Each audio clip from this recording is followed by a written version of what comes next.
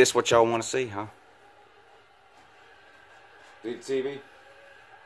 Say goodbye. You better not.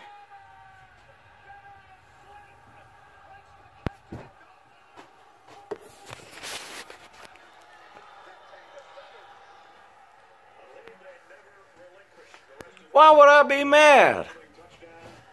I told you this game didn't matter.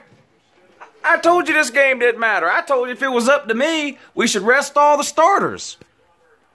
Y'all think I'm gonna come out here and break the TV because we lost a meaningless regular season game to the third best team in the SEC West?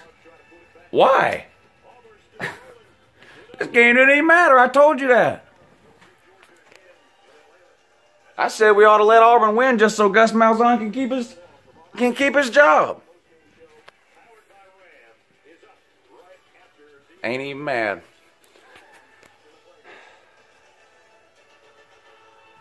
But all right, seriously. Uh uh th- there's been two opinions floating around the Georgia fan base this year about about Georgia's passing game.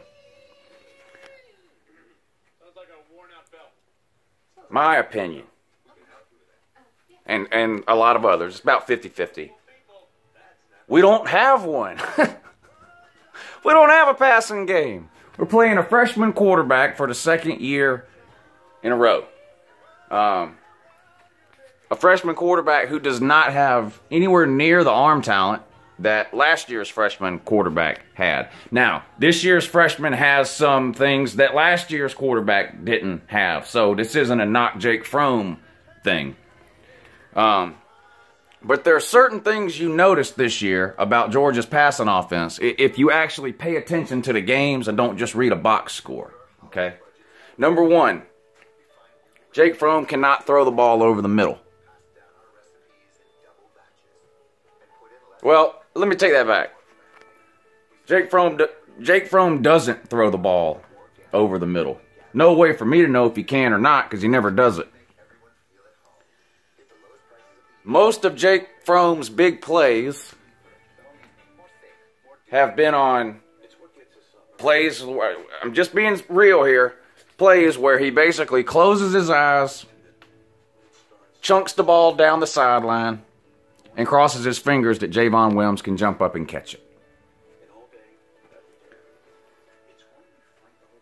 99% of our pass plays this year are to where? The sideline. Uncle Lou, where's our tight ends this year? Where's Isaac Nauta and Jeb Blazevich and Charlie Woerner? These guys were, were good last year. This year they don't even have five or six catches combined. Well, where do tight ends do their do their damage? Where do tight ends work? Over the middle. Right? What does it take to throw the ball over the middle? A strong arm, right? I'm not knocking Fromm. I'm ju I'm just saying what is what I've seen all year long. That's all I'm saying. Okay? So people ask me, and I've, I've said it on video a bunch of times, what worries you? What worries me is what happens when we play a team that shuts down Georgia's run game? What happens? The other half of the fan base tells me this. We're hiding, we're hiding our offense, Lou. We're hiding half our offense. Yeah, I know it's nine, ten weeks into the season, Lou. But why throw it when we don't have to, Lou? Why should we throw the ball when we don't have to? Why should we let other teams see what Fromm should do before we have to? First of all, I'm not blaming this loss on Fromm either, okay? We got dominated on both sides of the ball, okay? Auburn's offense dominated uh, our defensive front and Auburn's defensive front dominated our offensive front. We we ran the ball for what 40 yards in this game or something. I mean, we got dominated. Um, penalties, uh, not the ref's fault either. UGA's fault. Penalty after penalty after penalty. Dumb penalties. Now, none of those things is the reason why we lost the game. It's a combination of all those things. We got we got outplayed, outworked, Auburn wanted the game more. Auburn showed up to play. We didn't. All those things are true. Auburn just dominated. This isn't Jake Fromm's fault or the offensive line's fault or the defense's fault or Mecole Hardman's fault uh, or, or, or anything else. Georgia got completely worked today, okay? But this just brings up a bigger point that, that I've been talking about all year, okay? This infatuation with freshman quarterbacks, right? Eason. Now this year we play Fromm. We've already signed Fields for next year, so you know there's already people now. We got to put Fields in. Yep, Fields is the answer. And then and now they blame Chaney now. Chaney was a genius until an hour ago. You know when we were nine and zero oh and running for 350 yards a game. Chaney was a genius. Now he doesn't know what he's doing. Listen, what do you want Chaney to do? He's working with first year quarterbacks. Okay. Well, what do you want him to do? I don't understand. I don't understand. I don't get it. And they say, well, how, how, do you expect Fromm to complete passes when he's running for his life in this game? Well, Eason was running for his life in every single game last year. No one cared. you know? He threw for 2,500 yards. You know? So, yeah, Fromm was running for his life today. There was also several occasions where he held on to the ball too long. He has a hard time reading defenses, progressing from uh, receiver to receiver. Uh, you know, again, nothing against Fromm. These are typical freshmen. You, you see this this type of thing with freshmen, which is why some people thought maybe Eason should have been playing this year. I don't know. But this isn't the end of the world. No, Uncle Lou's not mad. No, I'm not breaking the TV. Sorry to disappoint all y'all that tuned in uh, to see that. I'm not mad. Uh, you know, it.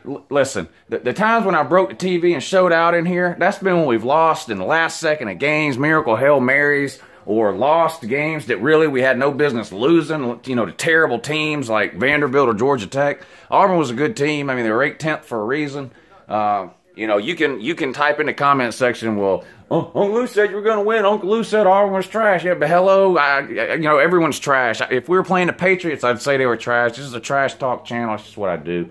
So there's no reason for me to be upset or mad at this game. We got blown out. We got dominated on both sides of the ball. Special teams was a disaster. Offense, disaster. Uh, defense, disaster. Uh, oh, into the first half, we get the ball just on the other side of midfield, right?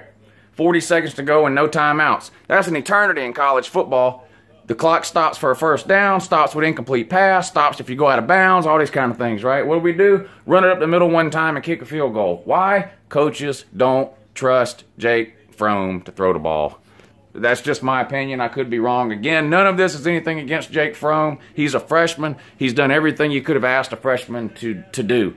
Uh, but Georgia fans or, or, people in general who thought that UGA was somehow intentionally hiding half its offense for the first 10 weeks of the season is this what we were hiding? What I just saw now? Is that what we were hiding? Uh, no, we weren't hiding anything. We, we were we, we, were playing the cards we had, uh, which was an elite running game. As long as you're playing a team that you can run against, okay? Uh, it's not Chaney's fault. It's not Fromm's fault. It's not any one. It's no one particular person's fault. UJ got dominated in this game by a better team. Period. Uh, by a better team. I, I mean, there, there's just nothing else to say. There, there's there's nothing else to uh, to say about it. Um, you know, all year long, when we were up 40 and 50 points on these trash can teams, I kept saying every single day of the week, why aren't we throwing the ball more? Why aren't we throwing the ball more? Fromm's a freshman. He needs experience. He needs, you know, he, he needs there. There's looks he's never seen. There's blitzes he's never seen. There's fronts he's never seen. There's there's blit there's stunts and all this kind of stuff he's never seen. This guy should be throwing the ball way more than 12 times a game. You know, and people said, well, and that's when you would hear the, why throw it if we don't have to, Lou? We're hiding our offense. Why show other teams what we have? The coaches know what he can do. They see him in practice. He lit it up in high school, Lou. I saw him play in high school, Lou. He can do it, Lou. Yeah, okay. Brice Ramsey threw the ball in high school, too. I'm not comparing Fromm to Ramsey. I'm just saying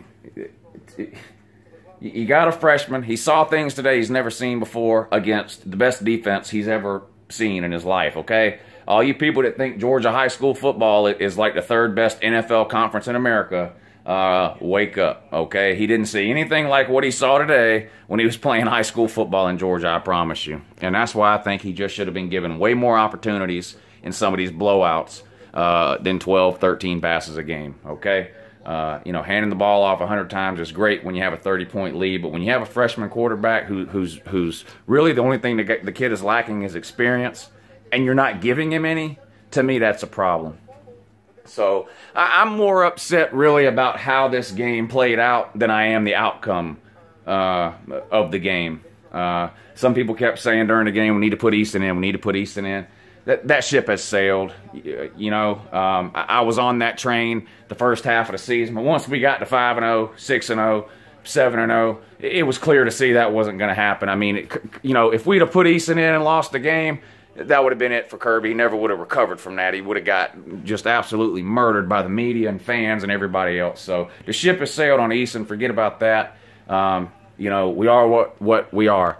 Uh, we got we got uh, Kentucky coming up. That's an easy win because we can run the ball on them. We got Georgia Tech after that. That's an easy win because we can run the ball on them. Uh, if UGA and the coaches want to make any sort of serious attempt at winning the SEC this year, no matter who we end up playing, whether it's Auburn or Alabama, then they'll let Fromm come out against Kentucky and Georgia Tech and throw 50 passes a game. Nothing, I mean, come on. Y'all watched that game.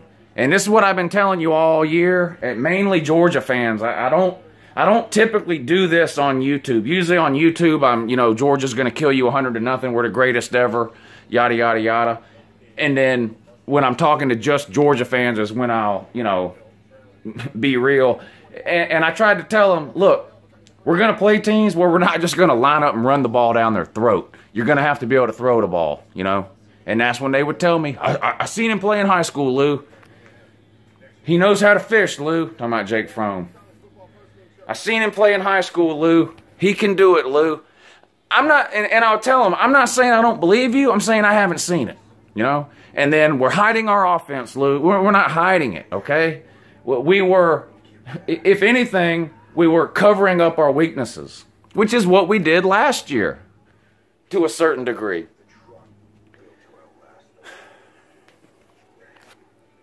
But if the Georgia coaches are serious about wanting to try to win an SEC championship this year, regardless of who we end up playing, whether it's Auburn or Alabama, they'll let throw, throw the ball 50 times a game the next two games. It may be too late for this year, and we may just not have the ability this year. I mean, that, that, that is a possibility, believe it or not. It is possible that Georgia's just not good enough to beat Auburn or Alabama.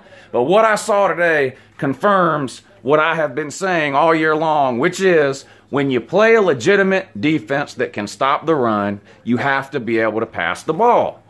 And nothing I've seen from Georgia all year showed me that we would be able to do that.